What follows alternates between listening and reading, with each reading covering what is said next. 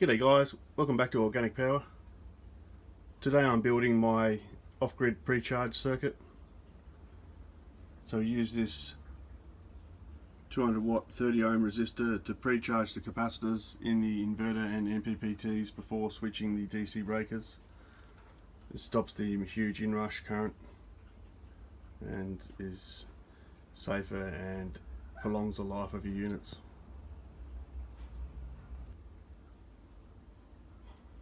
So to operate the pre-charge circuit, we'll turn this switch on, which will bring on the red indicator, and there'll be zero volts on the controller. On the capacitor load side,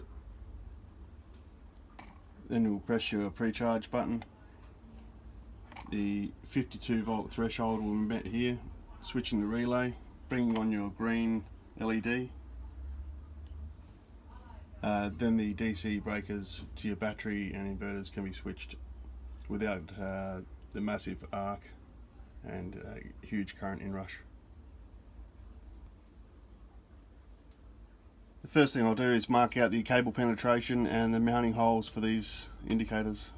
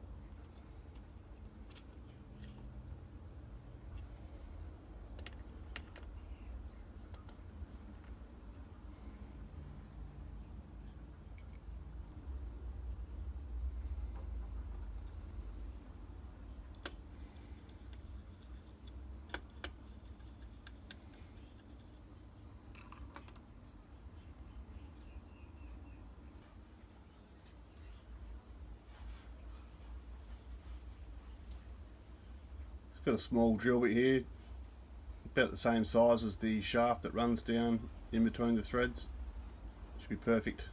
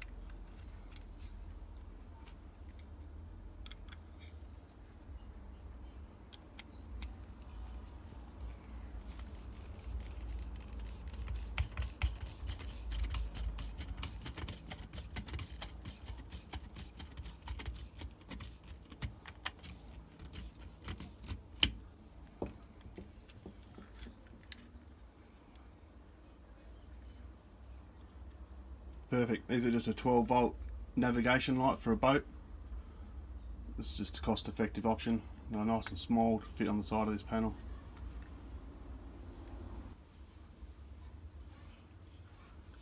I'll use a step drill to enlarge on this hole here. This will allow the wires to be connected to the voltage controller.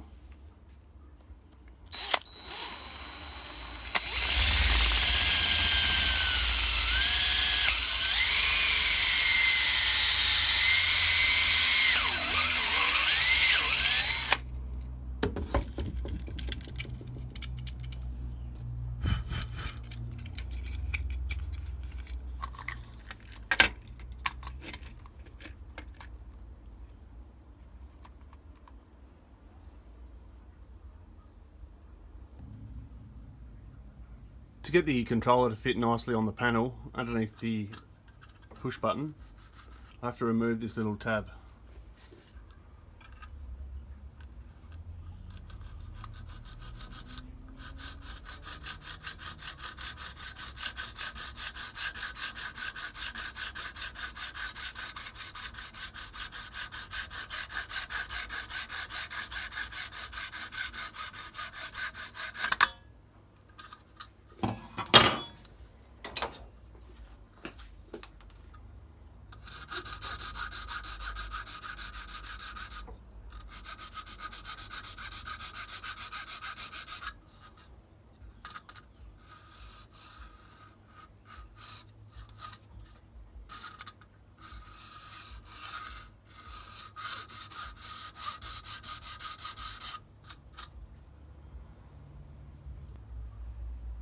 I'll do the same thing now to the DC to DC converter so it fits inside the push button box.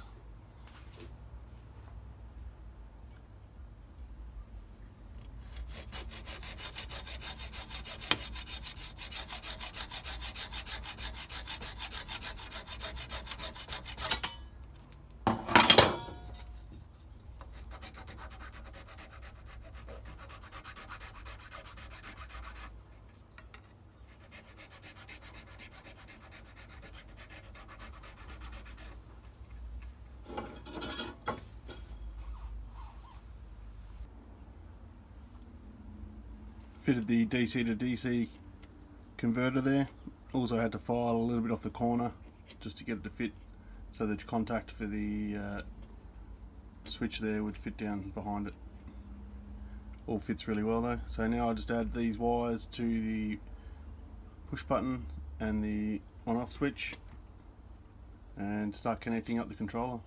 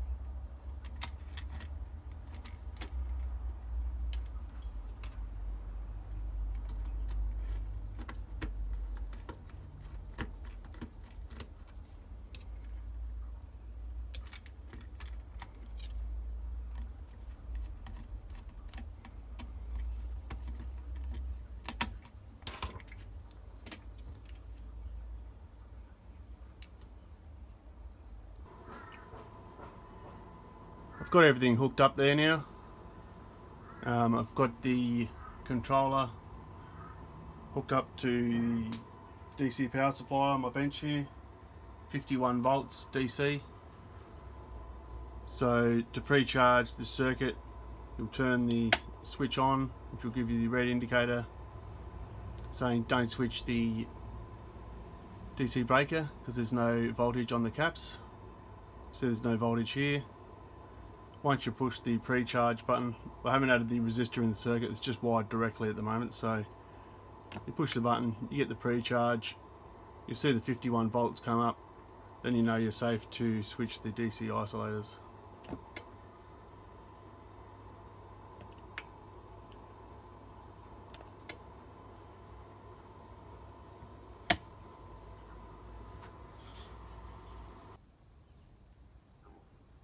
decided to mount the pre-charge circuit on this board.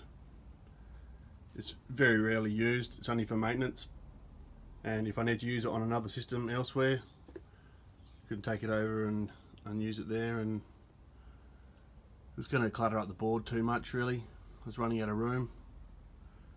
Sticking it next to the neutral link was going to look fairly crammed in so this is probably the best option. Mount it on this board and couple of fly leads with alligator clips. It's very low current. Uh, so, so alligator clips should be fine. Go from the battery side over to the inverter side and then to the MPPT side.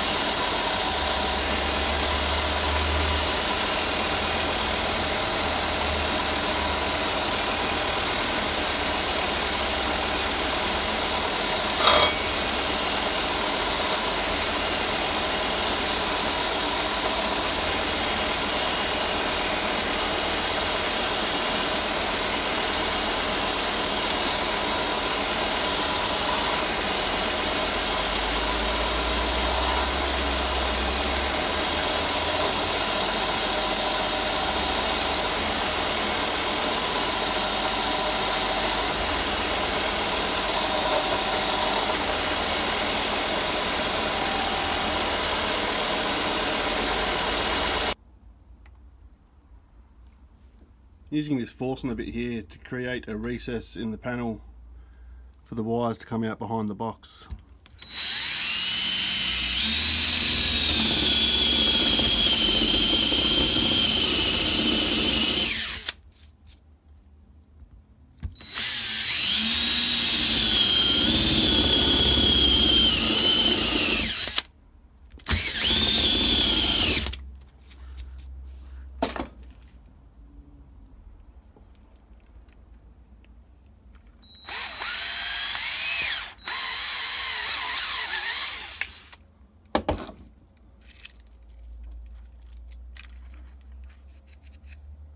Hole fit over the recess and the wires will be able to pass through the back of the box and then out that little hole little, little gap here on the side.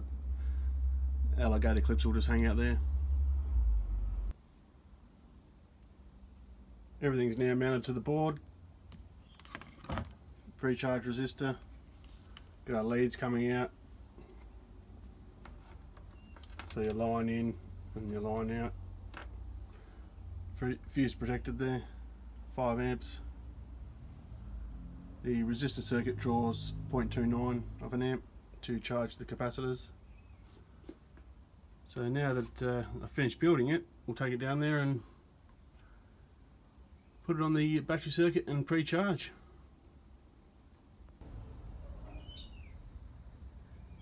There's the pre-charge panel completed.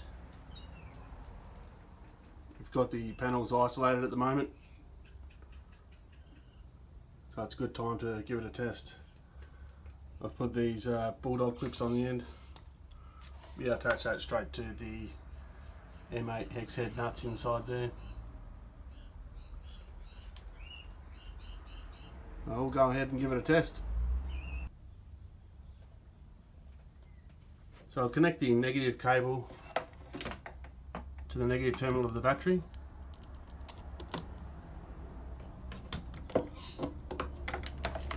Connect the positive cable to the positive terminal of the battery. And then grab the pre-charge leads.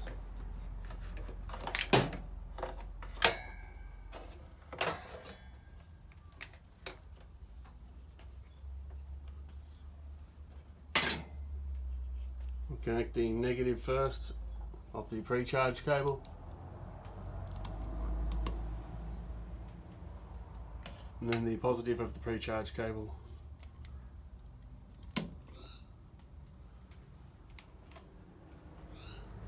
So now we can turn the unit on.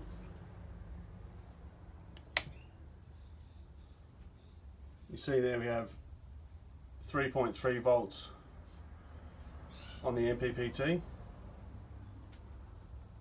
the breaker's turned off, the inverter isolator's turned off. So now if you push the pre-charge button, it'll pre-charge the capacitors in the MPPT through the resistor at around 0.3 amps until the threshold is met and the green light is indicated. So now it's safe to close the breaker without drawing a massive current. So I'll repeat that process on the inverter breakers now. So now if I move the pre-charge leads over to the inverter breaker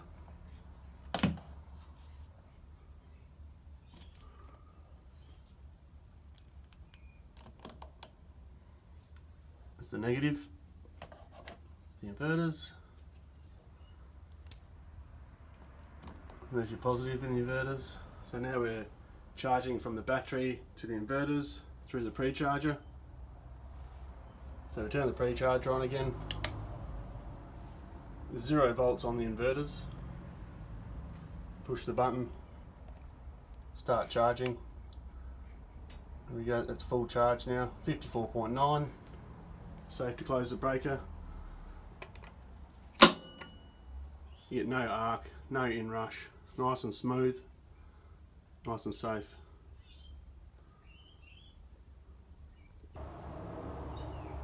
There we go, what a gem. The pre-charge board works perfectly. So much more gentle on the equipment to pre-charge before closing a big breaker like that. The inrush into the capacitors is huge, it can uh, end up doing some damage. You're also drawing a huge arc across the terminal of your DC breakers. So it's a win-win having a pre-charger. Right, thanks for watching everyone. Like and subscribe. Let us know what uh, you'd like to see in future videos in the comments. We'll catch you in the next one.